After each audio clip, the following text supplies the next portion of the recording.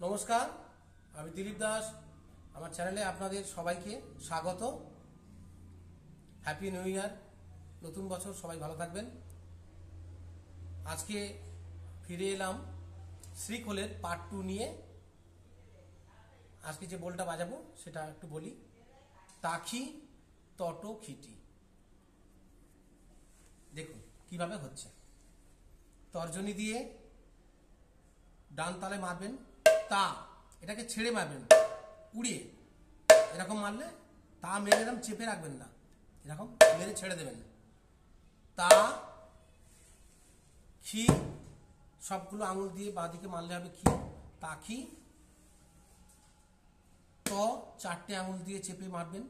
ত বুড়ো আঙুল দিয়ে ট ট, আর বাঁহাতে আবার খি আবার ডানাতে তাহলে তা খি ত, ট খি টি।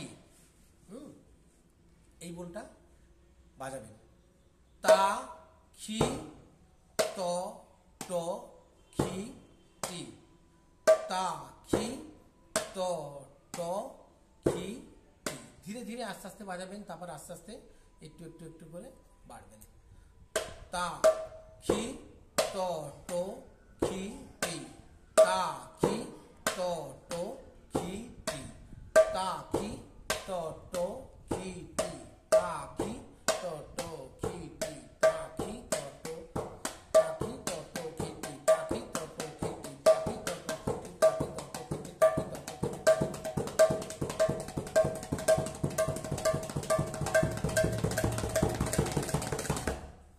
তারপরে আরেকটি বল তাকির সঙ্গে আরেকটা তাকি যোগ করে দেবেন। তাকি আর একটা তাকি। তাকি, দুটো তাকি হবে। একটা তাকি, তার সঙ্গে আরেকটা যোগ, আরেকটা তাকি। তাহলে তাকি তাকি তট তাকি